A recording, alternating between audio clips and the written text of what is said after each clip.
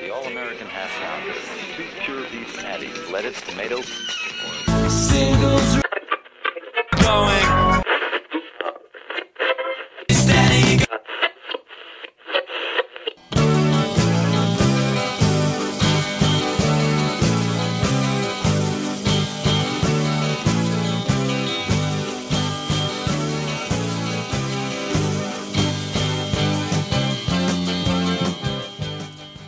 This is Singles Going Steady, the podcast dedicated to exploring great singles with a particular eye to the punk, new wave, and DIY eras of the last century.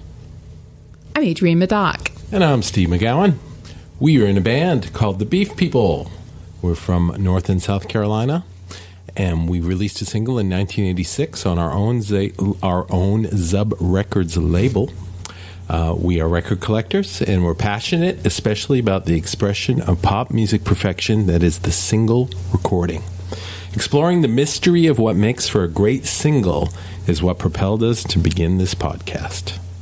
This is episode 022. And what single are we going steady with now? Ah, this is an interesting one. Uh, we have recently done the Undertones, and this is a band that shot off from the Undertones called That Petrol Emotion. They're from um, Northern Ireland, and they have an American singer. Um, they put out a number of records. And the song we're going to listen to today, the single is a CD single. It's a British release uh, on Virgin Records. It's called Genius Move.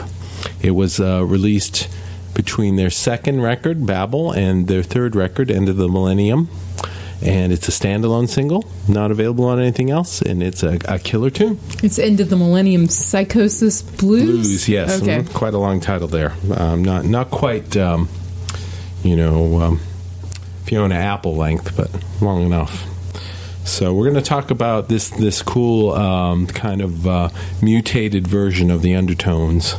Um, what was it that you read about them? It was if the undertones had discovered literature and art. pretty much, and and other forms, uh, other genres of music. There's a, like Yes, Sly and right. uh, Family Stone, Captain Beefheart. Cap, Yes. yeah, uh, Mm. Can, Yes. Can. So uh, th these guys are all over the map, but this is a great, great uh, song. I, uh, it's one of my favorites. So let's listen to a little bit of it now. This is That Petrol Emotion, and uh, it is a song called Genius Move.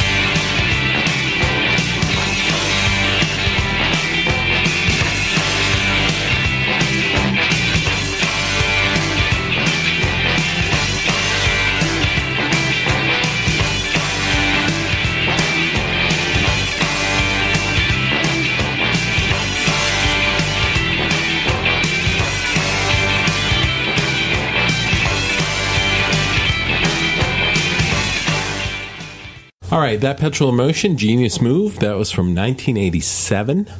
Um, the track was, um some of the production on it was done by John Leckie, who we know from the Posies' first record and uh, XTC and the Dukes of Stratosphear, very famous producer.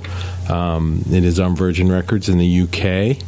Um, I like the use of the horns and everything in that. Um, the drum sound is killer. Uh, I like Steve Mack, the American guy's voice. He's got a real. Um, he's not Feargal Sharkey in any way. Yeah, and this isn't very undertonesy. No, it's not. And- and- not at all. Like we were saying, they they've discovered some new uh, new types of music, but it's it's sure is a catchy single. Um, you're, it's it's definitely an earworm. Um, the first that Petrol Emotions record was released on Demon Records, uh, Elvis Costello's label at the time, and uh, it was um, a little bit more undertonesy. And uh, as they went along, they got a little bit more experimental, and then they took a turn with the fourth record, Chemicrazy, which was produced by Scott Litt, and um, that was a very kind of amazing pop record. And we'll talk about some of the songs on that in future future podcasts. So, what do you get out of this one? Well, I think uh, you were talking uh, discovering art and literature, and certainly right out of the box, you get Slaughterhouse Yeah. number five. Um, Good one. Yeah, so I guess they're wearing it on their sleeve Mm-hmm. right there. Yeah. Yeah, I guess maybe having an American in the band might have. Get a little good American literature reference right from the start. Yes, yes. Um, I love the guitar sounds on this. The drums are, are very heavy. Um, the thing about that Petrol Emotion was um, they, they definitely wanted to make you dance. Yeah, it's propulsive dance music, Mm-hmm. and I think you get that from some of the influences they're citing, like Sly and Right. the Family Stone. Right, mhm. Dance to the music. Yes, Dummies.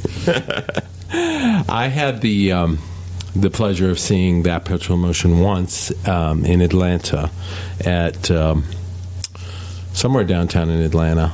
I can't remember, but it was it was a good venue, and it, they had like strobe Was it the. Varsity? Was it- You you know, them I, I think I ate at the Varsity, but I don't think I, I don't think they were playing there. Uh, They weren't playing for hot dogs, and. Um, they had the strobe lights going, and it was kind of a pre-rave sort of thing. But they were, were rocking it out, and uh, it, it was a very good show. They they they played a long time, and they they expended a lot of energy, and the music was was very good. It was very uplifting, and uh, um, I was really glad that I, I, I made the effort to go see them because they they weren't really around that long.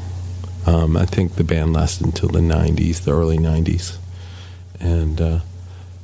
This single again is a standalone uh, from 1987. So uh, Yeah, and, and uh, it's funny looking at the label. It says another Virgin CD single, Right. right. Because Virgin was trying to, to break that as a genre, Right, right? right. You know, we're, Everybody- we're, you know, we're the CD single people. 87 vinyl was completely dead, and uh, they, they had to be a CD single, and. Uh, uh, you know, there's a there's a couple of them that Petrol Emotion put a few out, and we have we have gone over a few CD singles already, you know, on this podcast, and we are kind of digesting singles or in EPs in any form that they have. So uh, it's funny to see how they're trying to sell it, and now things are back to Right. Everybody wants vinyl singles now. Uh, the Beef People have a few if you want one. So, uh, um, again, that Petrol Emotion. We talked about the undertones. It's kind of a natural mutation, progression, um, spin off. Um, they put out a lot of good music. Genius Move is just one of the very excellent singles they've done, and we'll talk about some other ones later. Uh, anything else for you? Um, I, the cover is really Mm-hmm. interesting. It's sort of like a the version we have is Right. a later version. There was an earlier one that caused some controversy. Yeah. Mm-hmm. I don't know if you want to. Uh, That'll be an assignment for our Yes. listeners to You'll try to to, look that one discover what was wrong with that, Yeah. Mm-hmm. but it related to the troubles um, in, in Northern Ireland. Right. Um, but this cover is uh, an interesting uh, pen and ink drawing Mm-hmm. in the style of, of Chagall. It's uh, got some surrealism. Um, Some Picasso type eyes there. oh yeah, Yeah. yeah. So it, it's beautiful. I guess Yeah. it's a, contr uh, a compromise from the Mm-hmm. one that they had earlier, but um, it, it's a very arresting image. Yeah, even for a small little CD, um, you know, folder, it, it looks good. It looks like something that would be a great poster. And we'll have a link to that on the, the we will, website. we will. And there was a video for this song where the band was, is playing underwater in a, like a swimming pool. it's kind of silly, As you do. uh, you know. Uh, but uh, that's a genius move, I guess. So uh, we'll, we'll link to that as well. And you can you can check that out. Can you hear anybody covering this? Now this is that's a tough one because um, there's there's this is kind of a complicated, uh, you know, uh, tight knit sort of thing. and what do you and think? Dancy. So Yeah. do you, um do you want to Bruno Mars? Oh wow! Some, I was just thinking somebody. Could you imagine if he Yeah. tackled something like that? Yeah. He would funk it up. Yeah, that I'd like to hear that. Yeah, me too. That would be good. That would be really good. Well, because clearly they were trying to reach for sort of a, Yes. a, a funkier sound. yes, but And- sadly they are mostly from Northern Ireland. so Right, it's the funkiest Northern Yeah. Islanders there are. you can't, you can't, you know, Irish. help it. Um, do you have a recommendation for today? Well, I was going to recommend um, do some reading on the troubles in Ireland. Oh, that I realized I hadn't done any readings on. The, the, the last uh, thing that I could uh, cite was Leon Uris's like massive doorstop of a book, Yes. Trinity, which was a multi generational. Mm-hmm. Tome um, novel, which I certainly don't recommend. Uh, nothing against Leon Uris, So- but it's quite dated. So your non-recommendation from non-rec- Adrienne. yeah, my um, recommend read. to avoid. Do not read Trinity unless you want a time capsule. Mm-hmm. That certainly would give you an idea of Mm-hmm. kind of like what the mindset was about. Or you could just read some James Joyce. Exactly. That Yeah. Even or, or um, William Butler Yeats. Yes, I don't I know. That's a different Ireland. Yeats is always good. Um, my recommendation doesn't have anything to do with Ireland. It's mostly Greek. We are um, recording these, these this batch of podcasts in Greenville, South Carolina, and uh, uh, Adrienne has not been down here for some time. And the first place we went to, of course, was the Clock Drive-In over on uh, Wade Hampton. Got the chili cheeseburger and the half and half. and later, the revenge of the chili paying for it now. cheeseburger. But, half uh, and half. the- the- half and half in, in these Greek um, Yes. uh, drive-ins. Uh, that's half, um, French fries. and half onion, onion rings. rings. Yes, and it is a grease fest, and it is fabulous. Um, I just got the regular cheeseburger. I didn't get the meat on You top of only the rent it. cheeseburger. I know. Yeah. I know. But uh, yeah, the clock drive-in. There's a bunch of clocks in Greenville. There's a bunch of Pete's. Um, they're all run by the Greek people here, and they know how to cook, and they make great food. And uh, that's my recommendation. If you're ever in Greenville, go to a clock or a Pete's or both. And I recommend that you come um, prepared with, with something to deal. Yeah, have some time, uh, and maybe maybe get that you need Trinity um, Yeah, you in may- your you- restroom yeah, to deal yeah. with the consequences of. You, you need, you know, unfettered bathroom access. Absolutely. It's definitely where we're at. So that's uh, singles going steady for tonight. the scatological Yes. episode. Ending on the on the uh, bad note there. Um, this was 022 and that petrol emotion genius move. Check it out, uh, and we will talk to you soon. See you soon. To learn more about the artists and recordings we just talked about, visit our website at zubrecords.com and click on the Singles Going Steady icon. You'll also find links to the persons, places, and things we recommend, and much more. You can find episodes of Singles Going Steady on our website or wherever you get your favorite podcasts. Singles Going Steady is brought to you by the power and majesty of Zub Records. Zub Records, smart sounds for sharp people.